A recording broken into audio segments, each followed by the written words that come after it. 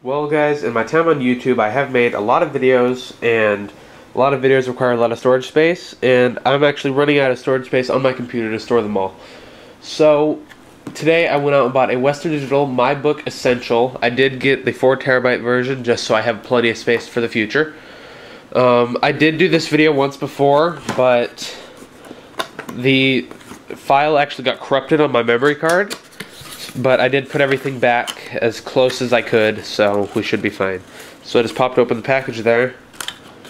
Um, we'll pull out our two instruction manuals, just a quick thing. Basically telling you how to plug it in. And then this one's obviously a little bit more technical and probably has some warranty stuff and a bunch of crap in there that I don't really care about because I know how to use a drive but oh well. In here, we've got our power brick. Unfortunately, it is a brick. Um, I would have preferred something like a power plug that goes to a separate brick, but unfortunately, this is what you get. You get a wall wart. So, oh well. Um, if you have like a bunch of these type of adapters plugged into an adapter cord and they don't all fit, they do make like one foot extension cords basically that you can put on the power strip and plug a bunch of these into a power strip if you need that. But for me, for the time being, this will be fine. So it just plugs in through a little barrel jack, as I'm sure you've seen on a few devices.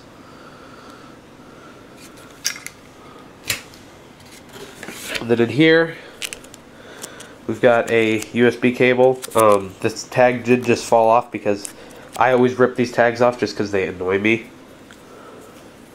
but I tried to put it back on there and of course it didn't stay so. Just undo the twist tie on that. Um, I didn't actually look this up or measure it but just based on my arm span I'm gonna guess this is probably like a 2 meter cable something in that range.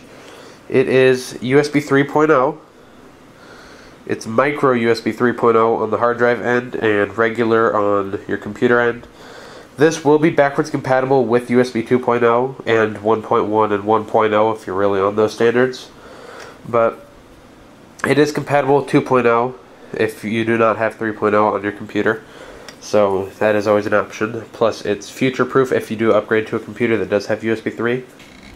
And last and most importantly, right here in the front, slide this out and it's actually got a couple little protectors on it.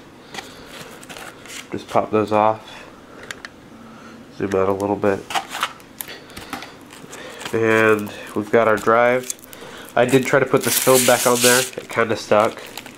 Of course, you can see mine has greasy fingerprints and stuff on it. Of course, yours is not going to come with that. But, as I said, I did put this back in the packaging, so, yeah.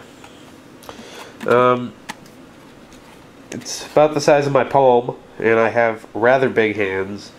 So, I don't know, it's a pretty big drive. Of course, if you know what a 3.5 inch hard drive is, obviously it's got to fit inside here, so there you go. On the front, this is, by the way, the reason I chose this one is because it's got a really clean and simple look. It's just got some shiny plastic, just a little Western Digital logo right there. Right there, right above my finger, you can actually see that little dot is a really tiny LED indicator. So it's not going to be huge and shining all over your room if you're trying to sleep and this drives on. So that's a really nice thing. Um, on the bottom here, we have rubber feet so that no matter what surface it's on, it's probably not going to move. You've got vents along the bottom, the back, and the top. It is passively cooled so that the heat will cause air to come in the bottom, you know, from the feet hold it off the surface so the air will come in here and some can come up in here and the heat will cause the hot air to rise, of course, and come out of the top and a little bit out of the back. And on the very back here, we'll look at this. We've got power button. It's nice and clicky. It's not one of those where you're going to press it and it's going to stay. But, you know, it's just a click. There's your micro USB 3.0 port, of course. Your power in barrel jack And if you want to lock this hard drive up, you still have the Kensington lock. I've actually never really seen one of those used, but they are still an option. So if you want to lock this drive up for any reason, there's your lock.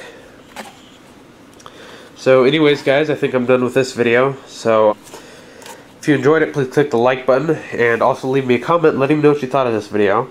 If you want to see more of my videos, including technology, silver, firearms, I've got a bunch of stuff coming up. If you want to see any of those videos, please click the subscribe button. Thank you for watching, and I'll see you guys later.